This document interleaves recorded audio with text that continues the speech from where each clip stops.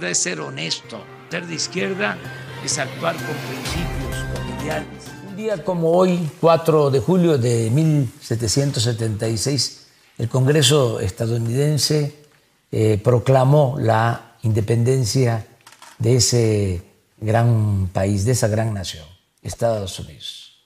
El presidente Thomas Jefferson eh, fue el que escribió el acta de independencia de Estados Unidos. De modo que este día memorable enviamos un saludo, una felicitación a todo el pueblo de Estados Unidos, nuestros vecinos y a su gobierno. También aprovecho para informarle al pueblo de México, a todas, a todos ustedes, de que la semana próxima voy a estar en Washington, me voy a encontrar con el presidente de Estados Unidos, Donald Trump, el propósito del viaje es la entrada en vigor del Tratado de Libre Comercio Canadá, Estados Unidos y nuestro país.